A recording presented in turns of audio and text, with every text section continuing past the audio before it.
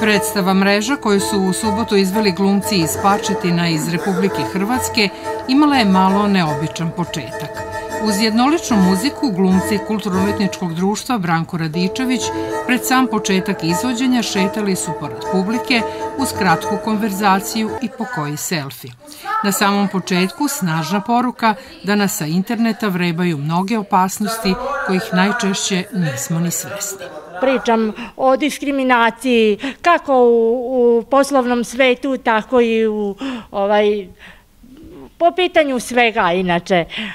Dosta je diskriminacije u društvu kod nas i Inače sam osoba s posebnim potrebama, jedina sam takva u ovom društvu, Pačetinskom Branko Radičević društvo, i, ali lepo sam prihvaćena od svih i ovaj pogotovo Cvetin mi je baš našao naš reziser, našao mi je baš ulogu gde mogu da pokažem to svoje, ovaj, kako glumi mi i tako, ovaj, dosta mi je posvetio pažnje.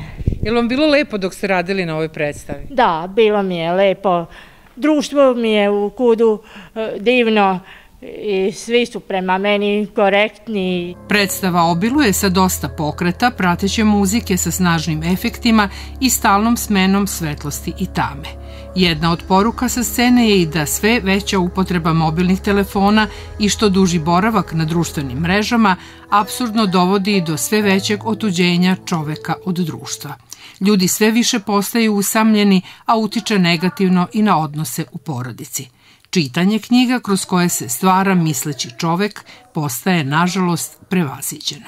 Pa predstava je zahtjevna za nas starije. Ja inače se bavim isto glumom.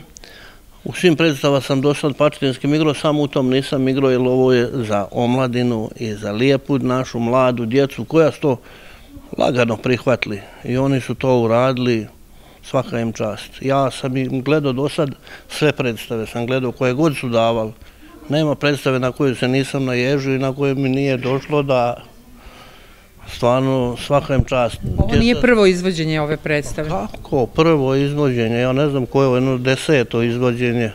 Kako publika reaguje na predstavu? Publika reaguje izvanredno.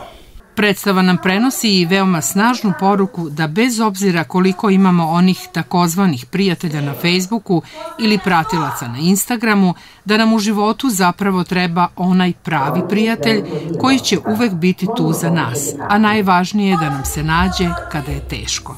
Nijedna poruka preko interneta ne može da se meri sa stvarnom podrškom, stiskom ruke ili prijateljskim zagrljajem nama bliskih ljudi.